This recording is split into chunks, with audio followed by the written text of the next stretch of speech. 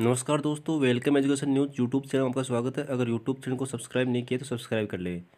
Librarian भर्ती परीक्षा को लेकर। राजस्थान कर्मचारी चयन बोर्ड करवाएगा परीक्षा उनतीस दिसंबर दो हज़ार उन्नीस को पेपर आउट होने के पर निरस्त की थी। सात सौ पदों पर लाइब्रेरियन भर्ती परीक्षा बारह अप्रैल को होगी। नेगेटिव मार्किंग होगी। तीस, तीन घंटे के पेपर में होंगे डेढ़ सौ सवाल।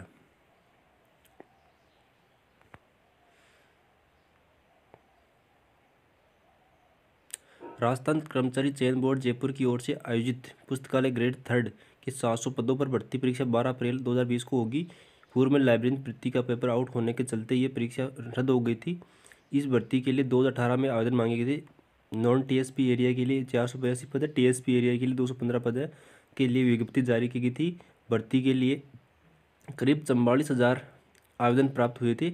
अभ्यर्थी सिलेबस के आधार पर तैयारी शुरू कर करें, जिससे पूरे कोर्स को कवर किया जा सके। प्रश्न पत्र में एक बटा तीन नेगेटिव मार्किंग भी होगी। अभ्यर्थी पाठ्यक्रम को दो भागों में विभाजित कर उचित समय प्रबंधन करें। शैक्षणिक योग्यता पुस्तकालय अध्यक्ष के लिए योग्यता में पुस्तकालय विज्ञान में प्रमाण पत्र सहित सेकेंडरी तथा देवनागरी लिपि में कार्य करने का ज्ञान होना चाहिए। वही राजस्थान की संस्कृति का ज्ञान ज़रूरी है। बोर्ड ने स्पष्ट किया है कि ऐसे अभ्यर्थी जो पाठ्यक्रम के अंतिम वर्ष में उन्हें लिखित परीक्षा का तिथि तक या पहले अपेक्षित शैक्षणिक योग्यता अर्जित कर लेने के सबूत प्रस्तुत करने होंगे।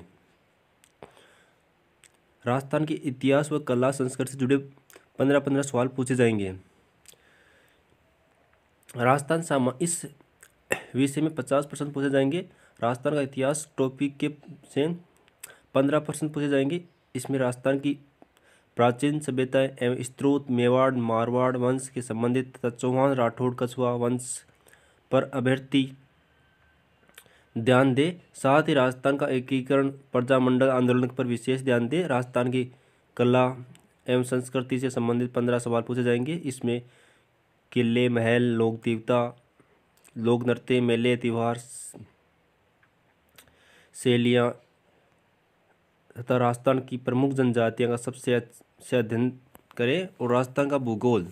विषय से लगभग बीस परसेंट पूछे जाएँगे। इसमें राजस्थान की स्थिति एवं विस्तार, मुख्य मुख्य भौतिक विभाग से दो परसेंट पूछे जाएँगे जाने की संभावना है और साथ ही जलवायु मृदा प्राकृतिक वनस्पति से एक दो परसेंट पूछा जा सकता है। पशुधन, बहुउद्देश्य परियोजना जल संरक्षण। तथा परिवहन से तीन चार परसेंट पूछे जा सकते हैं। इस तरह से इस बाग में एक अच्छा स्कोर किया जा सकता है। बाग ब।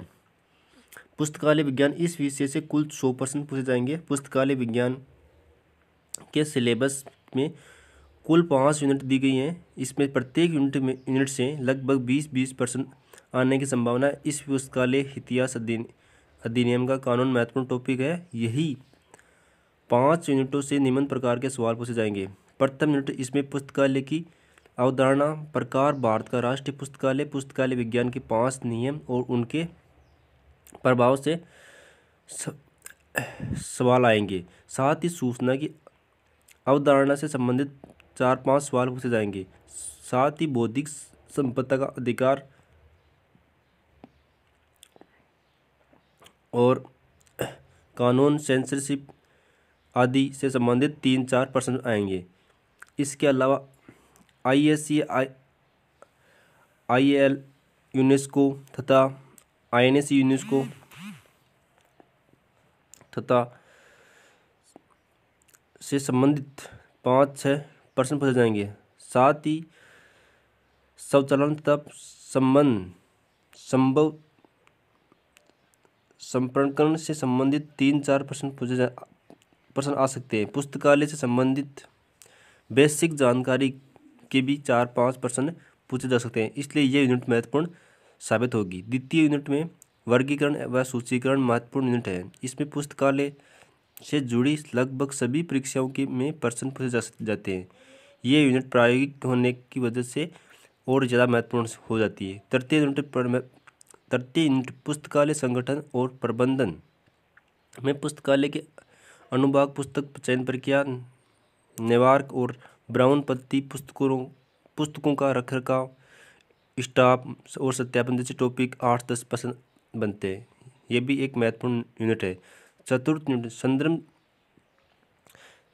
संद्रम सेवा विभाग, आवश्यकताएँ, उद्देश्यता C S S D I आदि टॉपिक से संबंधित प्रश्न पूछे जाएँगे। वही सूचना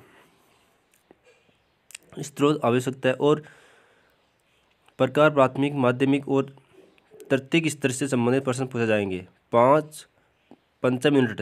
इस इसमें कंप्यूटर संबंधित प्रश्न का अभ्यास करें। परीक्षा के अभ्यर्थियों, पेपर आउट, भर्ती परीक्षा का आयोजन लेकर, लेकिन पेपर को रद्द किया, कर दिया और